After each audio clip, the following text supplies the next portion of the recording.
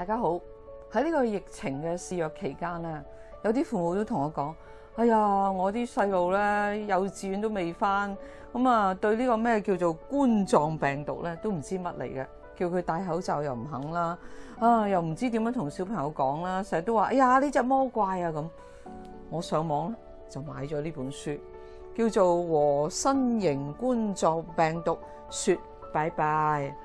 咁啊，編嘅咧係幼兒畫報啦，圖咧係叫列輝嘅。咁啊，審定仲有個醫生嚟到審定，出版咧係維京國際。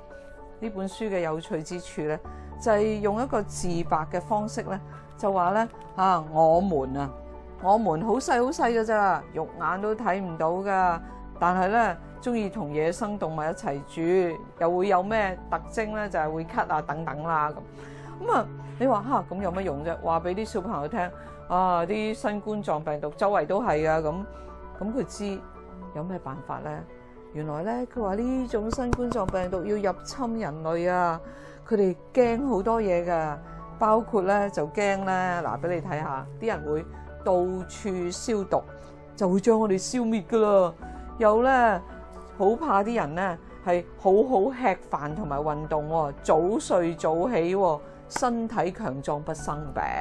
嗱，然後當然有講戴口罩啊等等嘅嘢啦，咁